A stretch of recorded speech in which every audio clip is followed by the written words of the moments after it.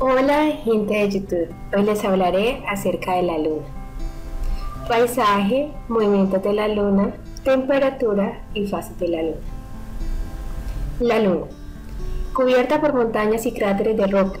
La luna es un verdadero desierto de piedra y polvo, no obstante es el único satélite natural de nuestro planeta. Paisaje el paisaje lunar es como el de un polvoriento desierto de aspecto volcánico.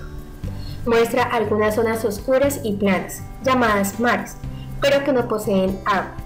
Son simples depresiones que se alternan con montañas de elevada altura separadas por terrenos planos o valles.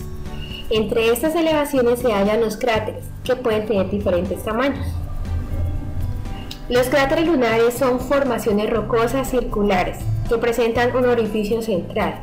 Algunos de ellos pueden tener origen volcánico.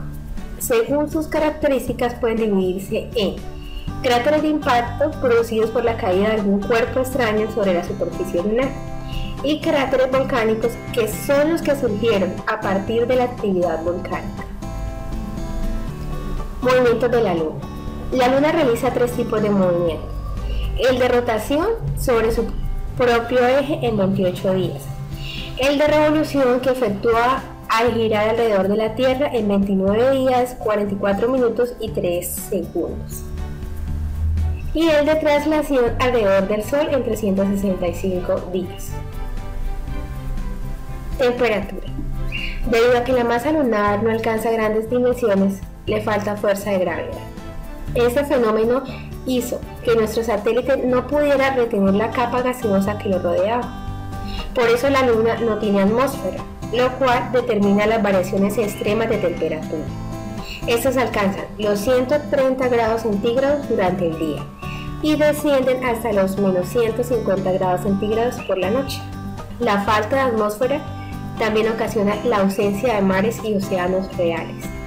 Asimismo, existe un silencio interrumpido ya que no hay vientos ni ningún tipo de ruidos. Fases de la Luna. La Luna es un astro que no tiene luz propia, sin embargo brilla porque refleja la luz del Sol. Debido a sus desplazamientos sincronizados, rotación, traslación y revolución, la mitad iluminada por el astro rey es siempre la misma, solo que desde la Tierra vemos a veces una porción más amplia y en otras se torna casi invisible.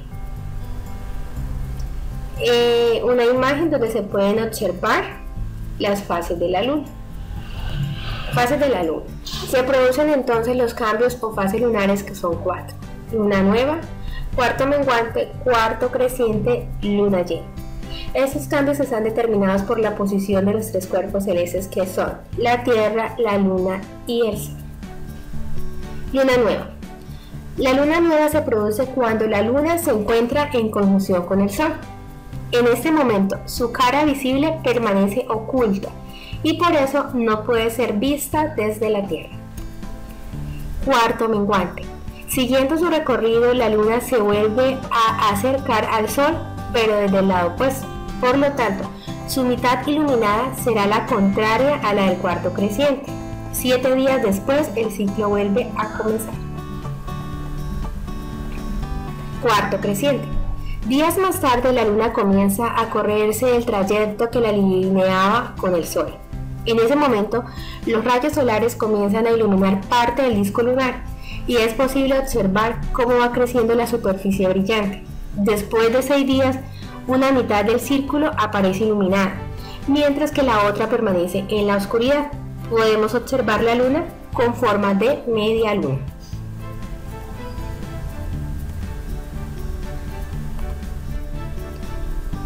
Luna llena. La luna sigue creciendo a medida que se va alejando del sol. Cuando llega al lado opuesto, los rayos solares se reflejan en toda la superficie lunar, iluminando el círculo completo. Sí, los invito a que me dejen sus comentarios, se suscriban a mi canal y le den like. Gracias.